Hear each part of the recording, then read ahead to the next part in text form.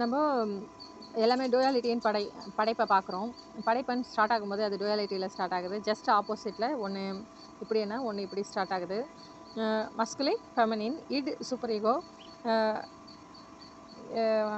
இறை சக்தி புலன் சக்தி நரகம் சொர்க்கம் left brain right brain minus infinity plus infinity நடுவில் இன்டிஜர்ஸ் எல்லாமே அடங்கிடுது எல்லா நம்பர்ஸும் narcissist super narcissist super empath இது ரெண்டுத்துலேயும் இல்லாமல் நடுநிலைமையில் வர்றது தான் வந்து நம்ம ஜீரோ எப்படி ஜீரோ அலோ பண்ணிச்சுன்னா தான் இந்த சைடும் போக முடியும் நம்ம இந்த சைடும் போக முடியும். ஃபஸ்ட்டு ஜீரோக்கு வந்துட்டு பிறகு இன்னொரு சைடு ட்ராவல் ஆக முடியுது.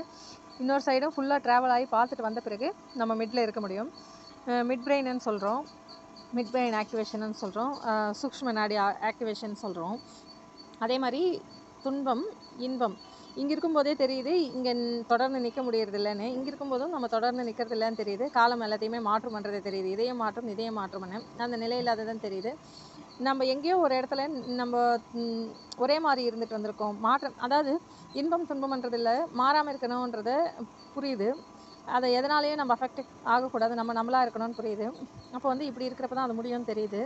இது இப்படியே இருக்கிறப்போ முடிகிறது பெரிய விஷயம் இல்லை. இப்படி போயிட்டு இப்படி போயிட்டு இப்படி போயிட்டு இப்படி போயிட்டு வரப்போ இந்த பயணம் தெரியுது. இங்கே ரிஃப்ளெக்ஸாக நம்ம போயிட்டு வரதில்லை. நம்மளால் இங்கே வர தெரியணும். நம்ம கான்ஷியஸாக இங்கே வர முடியணும். நம்ம நினைக்கிறப்ப இங்கே வர முடியணுன்ற ஸ்டேஜ் நமக்கு தெரியணும். அதுதான் நமக்கு ஃப்ரீடம்னு புரியுது. இந்த இடத்துல வரும்போது இந்த எமோஷன்ஸ் இந்த எமோஷன்ஸ் இந்த அறிவு இங்கே இருக்கிறப்ப இருக்கிற அறிவு அது வேற இது வேறேன்னு நமக்கு புரியுது. இதை நம்ம அனுபவிக்கணும்னா இதுவும் இதுவும் இருக்கக்கூடாதுன்னு நமக்கு புரியுது. அப்போ இந்த டூ எக்ஸ்ட்ரீம்ஸ் இருக்கிறப்போ இதை நம்ம உணர முடியாதுன்னு புரியுது. அந்த டூ எக்ஸ்ட்ரீம்ஸ்லேருந்து நம்ம க்ளோஸ் ஆகி இது கிட்ட வரணும்னு புரியுது.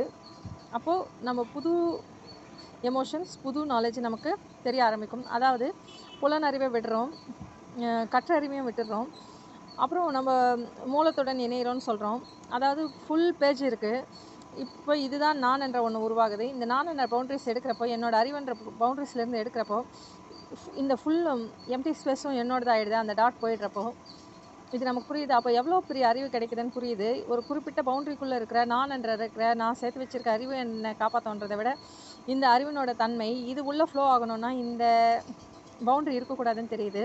இந்த பவுண்டரியிலேருந்து நம்ம வெளியே வரப்போ டொயாலிட்டியிலேருந்து வரப்போ என்னோடதுன்றதுலேருந்து நான் வெளியே வரப்போ இந்த மொத்தமான தன்மை கூட நான் இணையிறப்போ எவ்வளோ ரிலீம்ஸ் ஆஃப் நம்ம இதுவரையிலும் நவுனை விட்டுறப்போ அன்னவனுக்குள்ளே என்ட்ராகிறப்போ அன்னவன் மொத்தமே நம்ம ஒரு புள்ளியாக இருக்க நம்ம டோட்டாலிட்டியிலேருந்து ஃபார்ம் ஆகிருக்க நம்ம டியூவாலிட்டின் டெவலப் ஆகி நான் என்ற தன்மையில் ஃபார்ம் ஆகி என்னோடய அறிவுன்னு வளர்த்துக்கிட்டு இருக்க நம்மளுக்கு இருக்கிற அறிவை காலங்கா அதுவும் காலங்காலமாக சேர்த்து வைக்கப்பட்ட அறிவு புலன்கள் மூலயமா கிடைச்ச அறிவு அந்த அனுபவங்கள் மூலமாக கற்று தெளிந்த அறிவு இது எல்லாத்தையும் நம்ம விடுறப்போ நம்ம டோட்டல் அறிவுக்கிட்ட போயிடுறோம். இது நவுன் அறிவு.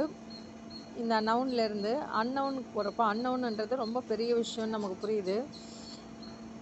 அதாவது இந்த ஃபுல் பேப்பர் இருக்குது இதில் இது இருக்குது இந்த புள்ளி தான் நானுன்றப்போ இந்த புள்ளியை நான் எடுத்துடுறப்போ எனக்கு மிச்சம்லாம் எல்லாம் நான் அல்ல. நான் அல்லாதது நிறைய இருக்குன்றப்போ அதாவது இதை சொல்லுவாங்க கட்டுறது கையளவு கல்லாதது கடல் அளவு இல்லை உலக அளவுன்னு சொல்லுவாங்க இந்த கையை நான் மூடிட்டு என்னோடதுன்னு சொல்கிறப்போ கொஞ்சமானதாக இருக்கிறது நான் கையை விரிச்சிட்டு விட்டுடுறப்போ இந்த டோட்டாலிட்டி கூட கலந்துடுறப்போ அதிலிருந்து எனக்கு ட்ரான்ஸ்ஃபர் ஆகிற விஷயங்க புது எமோஷன்ஸ் எமோஷன்ஸ்னோட வேறு வேறு ரிலீம்ஸ்க்கு எக்ஸ்ட்ரீம்ஸ்க்கு நம்ம போக முடியுது. வேறு வேறு ஆழத்துக்கு போக முடியுது. வேறு எக்ஸ்டெண்டட் ஃபீல்டுக்கு போக முடியுது.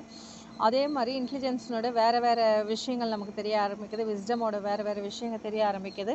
எதுவுமே எந்த அழுத்தமுமே இல்லாமல் எந்த ஸ்டோரேஜுமே இல்லாமல் எதுவுமே எண்ணங்கள் எழுந்து வராமல் திரும்பி திரும்பி நமக்கு இதுவாகாமல் ஃபோர்ஸ்ஃபுல்லாக இருக்காமல் வெளியிலேருந்து வர ஒரு என்வரான்மெண்ட்டுக்கு நம்ம எப்படி ரியாக்ட் பண்ணணுன்றப்போ ஒரு ஆப்டான ஒரு ரியாக்ஷன் நம்ம கொடுக்குற அளவுக்கு எல்லோருக்கும் நல்லது எப்பொழுதுக்கும் நல்லதான ஒரு விஷயத்தை நடத்துகிற அளவுக்கு ஒரு ஃப்ளோவில் ஒரு விஸ்டம் பாஞ்சு நம்ம மூலமாக செயல்படுறப்போ அது எவ்வளோ அழுத்தம் இல்லாததாக இருக்குது அதனோட ஃப்ரீக்வன்சி எவ்வளோ டெப்த்தாக இருக்குது டெல்டா ஃப்ரீக்வன்சி அளவுக்கு அது எப்படி எல்லாருக்கும் இதமானதாக மனித மனிதன்னு சொல்கிறோம் மனம் இதம்.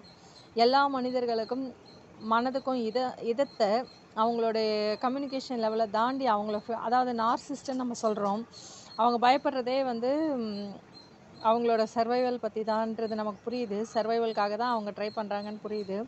அப்படி இருக்கும்போது அவங்க கம்யூனிகேஷன் எமோஷன் e-, அவங்க கவனிக்கும் தன் தன்மை ஒரு புலிக்கு பக்கத்தில் இருக்க மான் எவ்வளோ விழிப்புணர்வோடு இருக்குன்னு புரியுது. அப்படிப்பட்ட நிலையில் இருக்க சர்வைவல் பீப்புளுக்கிட ஒரு டெல்டா ஃப்ரீக்குவன்சிலேருந்து வர இதமான அலைகள் த சூழப்படும் போது அவங்கள அறியாமல் அவங்க அந்த சர்வைவல் மூட்லேருந்து வெளிவரதுக்கான வாய்ப்புகள் இது என்ன உணர்வுன்ற புது எமோஷனை அவங்க ஃபீல் பண்ணுறதுக்கான வாய்ப்பு ஏற்படுதுன்னு நமக்கு புரியுது. இதை நம்ம பார்த்துருப்போம். அதாவது காட்டில் இருக்க முனிவர்களோட ஆசிரமத்தில் ஒரே இடத்துல மானும் புலியும் தண்ணி குடிச்சிட்ருக்கோம் ஒருத்தருக்கு ஒருத்தர் ஆபத்தாக ஃபீல் பண்ண முடியாது. ஆனால் இந்த காலத்தில் நம்ம நாயும் பூனையும் கூட நாய்கிட்ட ப- பூனை பால் குடிக்கிறதையும் பார்த்துருக்கோம். புலி கூட உட்காந்து வேறு மேமல் வெரைட்டியை சேர்ந்தது பால் குடிக்கிறதும் நம்ம ஜியாகிரஃபி சேனல் எல்லாம் பார்த்துருப்போம். இதுக்கெல்லாம் காரணம் கம்யூனிகேஷனில் அங்கே வந்து லாங்குவேஜ் இல்லை வெளிப்படையான உணர்வுகள் இல்லை. அந்த ஃப்ரீக்வன்சி என்ற உணர்வு அந்த இதத்தன்மையை ஏற்படுத்துதுன்றது நமக்கு புரியுது. அந்த டெல்டா ஃப்ரீக்வன்சியில் இருக்கிற உணர்வை கம்யூனிகேஷன்ன்றது அப்போ ஒளிபரப்பும் கோபுரம்னு சொல்கிறோம் அது நம்ம உடம்புல இருந்து ரிலீஸ் ஆகி வெளியில் பரவுறப்போ அடுத்தவங்கள இருக்கிற டீப்பான உள்ளுணர்வு அதை உணர ஆரம்பிக்குது. அதை ரிசீவ் பண்ண ஆரம்பிக்குதுன்னு நமக்கு புரியுது. அவங்களோட ஃபெய்த் மோட் ஆக்டிவேட் ஆக ஆரம்பிக்குதுன்னு நமக்கு புரியுது. இதெல்லாம் ஒரு வாய்ப்பு தான். இதுக்கு நிஜமான வாய்ப்பு இருக்கான்னு தெரியல. இது ஒரு சான்ஸ் நார்சிஸ்ட்டுக்கான ஒரு சான்ஸ்ன்றதை நம்ம புரிஞ்சிக்க முடியுது. நார்சிஸ்ட்டுக்கே அந்த சான்ஸ் ஏற்படுத்துதுன்னா சாதாரண மக்கள் விழிப்புணர்வோட இருக்க மக்கள் அதாவது இது சர்வைவல் மோட் இது எவல்யூஷன் மோட் இது நார்மல் மோடுன்னு தெரிகிற ஒரு சாதாரண விழிப்பு நிலையில் இருக்க சாதாரண மக்களுக்கு இது இன்னும் எவ்வளோ பெனிஃபிஷியலாக இருக்கும்னு நமக்கு புரியுது. அவங்களுக்குள்ள இருக்க ஒரு எவல்யூஷனி மோடு வேலை செய்கிறதுக்கு எவ்வளோ யூஸாக இருக்கும்னு நமக்கு புரியுது. இது உங்களுக்கும் புரியும்னு நினைக்கிறேன். நன்றி. இது எல்லாமே இப்போ வந்து இட்டனோட எக்ஸ்ப்ளனேஷன் எடுத்து பார்த்தோம்னா சூப்பர் ஈகோனோட எக்ஸ்ப்ளனேஷன் எடுத்து பார்த்தோம்னா இது சொர்க்கத்துக்கான வழி என்ற மாதிரியும் இது நரகத்துக்கான வழி என்ற மாதிரியும் அந்த எக்ஸ்ப்ளனேஷன் இதுக்கு சரியாக இது பொருந்துறது நம்ம பார்க்க முடியும். புலன் சக்தி இறை சக்தி இது ரெண்டுக்கும் ஆப்போசிட்டாக இருக்கிறது நமக்கு புரியுது. இது ரெண்டுமே இட் ஈகோ கூட. அவங்க சொல்லியிருக்க இந்த சைடு இருக்கிற எல்லாத்தினோட எக்ஸ்ப்ளனேஷனும் ஒரே மாதிரி இருக்கிறதா லெஃப்ட் பிரெயின்ன்றதும் நரகம்ன்றதையும் புலன் சக்தி ஈட்டு மஸ்குலைன் கேரக்டர்னு சொல்கிறது இது எல்லாமே வந்து ஒரே மாதிரி இருக்கிறத நம்ம பார்க்க முடியும். இதனோட எக்ஸ்ட்ரீம்ஸு இதனோட எக்ஸ்ட்ரீம்ஸும் ஒரே மாதிரி இருக்கிறத பார்க்க முடியும். இ- இதை தான் வந்து வேறு வேறு வார்த்தைகளில் அவங்க சொல்லியிருக்காங்கன்றது புரியுது. ஈட்டுக்கு போகாதீங்க சூப்பர் ஈகோக்கு வாங்கன்னு சொல்லிட்டு. ஆனால் எடுத்த உடனே வந்து ஏதோ ஒரு எக்ஸ்ட்ரீமில் இருக்க முடியாது. ஃபஸ்ட்டு வந்து நம்ம நியூட்ரலுக்கு வரணும். நியூட்ரல்லேருந்து இந்த சைடு போக முடியும். அதுக்கப்புறம் இந்த சைடு போயிட்டு ஃபுல் எக்ஸ்டென்ஷனுக்கு நம்ம மூவ் பண்ண தெரிஞ்சிச்சுன்னா நம்மளால் இங்கே வந்து நிலையாக நிற்க முடியும். இது ம இங்கே நிலையாக நிற்கிற முடியறதும் கான்ஷியஸாக நம்ம எங்கே இழுத்து விடப்பட்டாலும் இங்கே வந்து நிற்க தெரியறதும் ரொம்ப முக்கியம்னு நமக்கு புரியுது. இதை கான்ஷியஸாக நம்ம இந்த இடத்துக்கு வர முடியணுன்றது தான் நம்மளோட கோலாக இருக்கணும். அதுக்கான முயற்சி தான் செய்கிறோம் அப்படி முயற்சி செய்யும்போது எக்ஸ்டர்னலாக எந்த த்ரெட்டனிங் வந்தாலும் நம்ம அந்த சர்வைவல் மோடுக்கு போகாமல் நம்ம நியூட்ரலாக இருக்க முடியுது. அந்த இடத்துல எதுவுமே செய்யாமையே சர்வைவலில் நம்ம இருக்க முடியும். அந்த மறுபடியும் பாசிபிளான சுச்சுவேஷன் வரப்போ நம்ம எவால்வ் ஆக முடியுன்ற சுச்சுவேஷனுக்கு போக முடியும். அப்படி வர்ற சுச்சுவேஷன் தான் நம்ம எக்ஸ்பெக்ட் பண்ணுற சுச்சுவேஷனும் ரீச் ஆகணும்னு நினைக்கிற சுச்சுவேஷனும் எக்ஸ்டர்னலாக எந்த பாதிப்பும் வந்து என்னோட எமோஷ்னல் பேலன்ஸை டிஸ்டர்ப் பண்ணக்கூடாதுன்றது தான் எய்ம் அந்த எமோஷனல் பேலன்ஸை டிஸ்டர்ப் பண்ணலைன்னா ஃபிசிக்கலாகவும் டிஸ்டர்ப் ஆக மாட்டோம். ஃபிசிக்கலாகவும் டிஸ்டர்ப் ஆகாதப்போ நம்ம உடல் மனம் ஆன்மா எல்லாம் ஒரே சீராக இயங்கும்னு நமக்கு புரியுது. இது உங்களுக்கும் புரியும்னு நினைக்கிறேன். நன்றி.